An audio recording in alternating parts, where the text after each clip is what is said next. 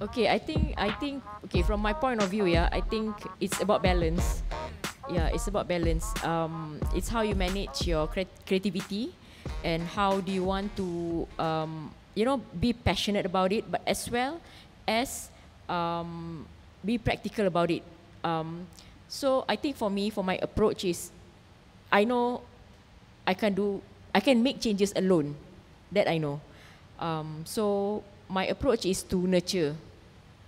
So you nurture the team.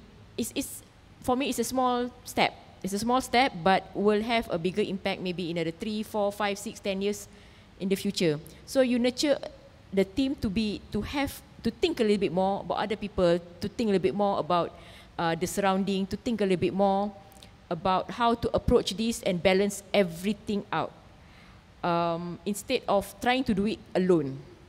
So that's one way. That's one way which I. Uh, that's the path that I take. Um, still doing it.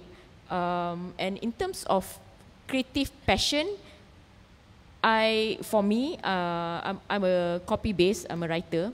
So I put it in my craft, um, and of course, have, uh, another passion of mine is art, right?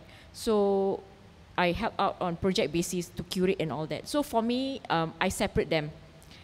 Uh, in, in terms of industry, that's what I do.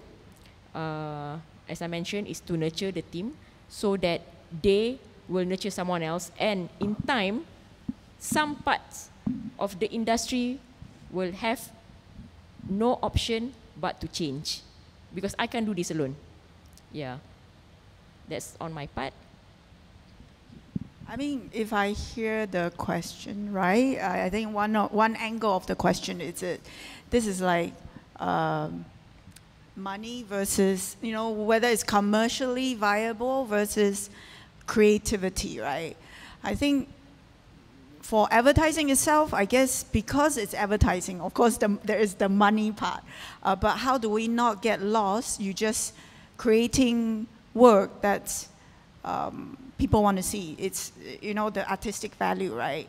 Um, I think a lot of the people who work in the advertising industry, that's why it's important for them to take that time or find that passion because it cannot happen. I think, I think it's too ambitious wanting to do both at the same time.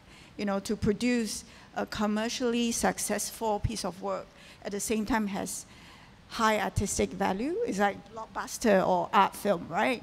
Um, it can happen, but it doesn't. I think we just need to be kinder to ourselves. It, sometimes it doesn't need to happen all in one. It can take time. You know, you could produce something that's very, very commercially successful. Maybe 10 years later or in your own time, you create work that you are very proud, very happy, that feels your artistic soul, right?